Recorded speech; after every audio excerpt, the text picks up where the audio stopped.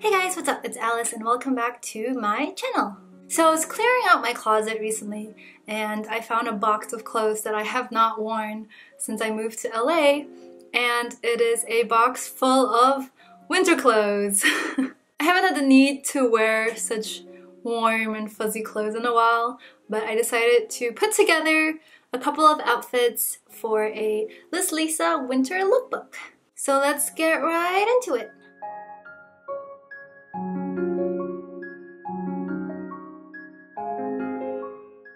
So this is the first outfit and I think normally in my everyday life I like to wear pink and white combinations but specifically for winter outfits I love the white and blue combination. It just gives off such like winter wonderland kind of vibes. And this dress is my absolute favorite winter dress.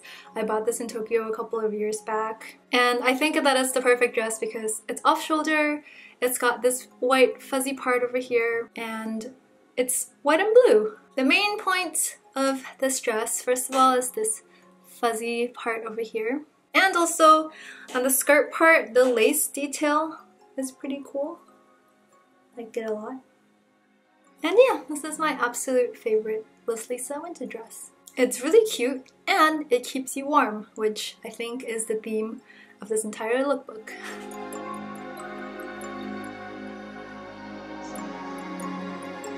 So for the second outfit, I have chosen this sweater dress. I love it because it is super comfortable, really cozy, and it really, really keeps you warm. Also, it is really effortless. It's so easy to put on and then you're instantly warm and cute.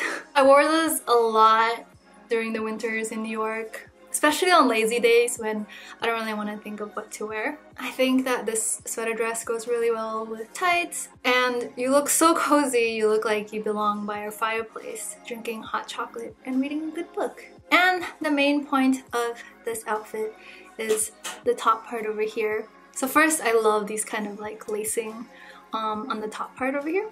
And then second, look at this cute ribbon. It goes through here and then it even goes through the back and it ends with a little bow. And I think that it's the cutest thing ever.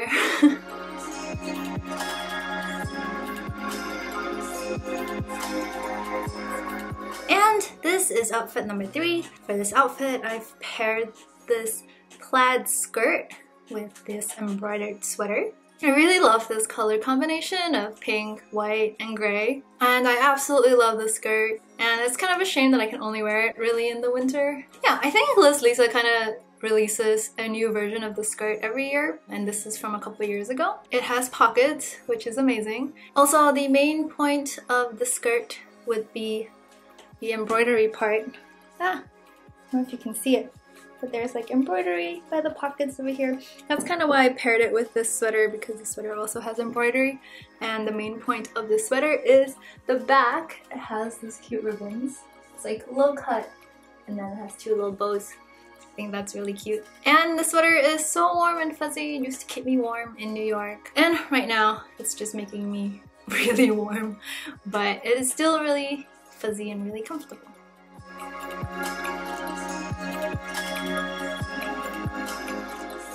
And ta-da! I've upgraded this outfit with this really adorable gray poncho. If there's one thing you need to know about me is that I really love ponchos and this one is my favorite poncho. I think I just really love the silhouette that the poncho gives off, that it's just like wide and then you wear either like a tight skirt or a flare skirt. Either way, I think it will look really good. And this poncho specifically, there are buttons on the inside so you could actually button it and then it'll be kind of a sleeve rather than just a free-flowing poncho. Since we're talking about ponchos, I have to tell you my favorite poncho story. But a little backstory. So the thing with ponchos is you have to put the bag on first before you put the poncho.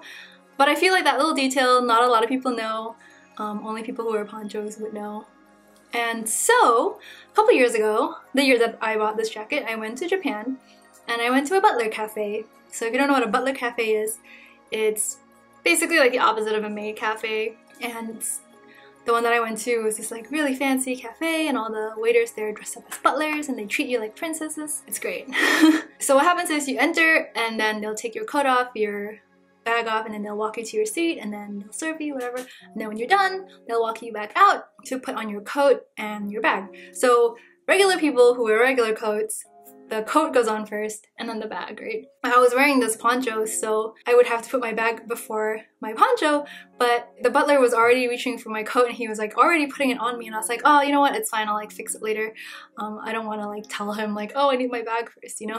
Because I didn't really speak Japanese, so I didn't really know how to tell him that. But like, as he was putting my poncho on me, he was like, wait a minute, this is this a poncho? And I was like, yeah. And he's like, oh, then you'll need your bag first. Like, oh, I was so impressed that he even knew that. So he gave me my bag first and then he put my poncho on me. And ah, I was so impressed and I think about that story every time I wear this poncho. And if you're ever in Tokyo whenever we can travel again, I highly recommend Swallowtail Cafe. That's the name of the Butler Cafe. It's just such a detail that not a lot of people know and I'm sure that specific butler or every butler there makes it their job to know these kind of details, but I still think it was really impressive. So thank you, butler guy.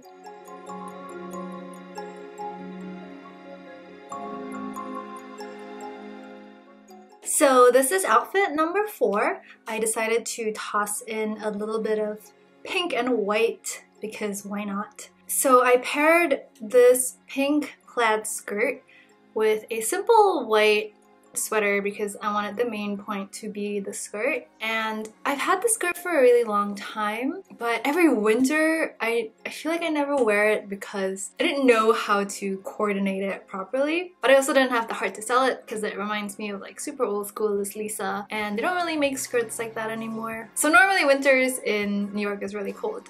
So every time I wear a skirt I have to wear there are two layers of tights. And I just didn't like how the skirt looked with tights so now that I'm wearing it again without any tights, I think that that's how it's meant to be worn. the skirt reminds me so much of my my Japanese friend from high school that she used to wear these kind of skirts and then bare legs and then boots, right? And this would be dead in the winter of in New York. And now I kind of understand why she did that because it just doesn't look good with tights. So the main point of this outfit, I would say, is this little bow belt. I'm still not amazing at tying bows, but I think that one looks pretty good. And yeah, overall, I'm pretty um, happy with this outfit and I think I'm gonna hold on to the skirt a little longer. So that's it for this video. I hope that you guys enjoyed my Liz Lisa winter lookbook. I'm honestly just sweating sitting here in these thick fuzzy sweaters. And yeah, wearing these outfits again kind of make me miss winter a little bit. It's been a while since I felt cold weather, I guess. and I mean, do I miss it? I miss it a little bit. I do kind of miss snow a little bit, maybe. Maybe it's just because I haven't seen it in so long. I think I miss it. And yeah, so this is the end. Don't forget to like this video, subscribe to my channel if you haven't already, and also let me know in the comments below which of these outfits were your favorite and I'll see you guys next time.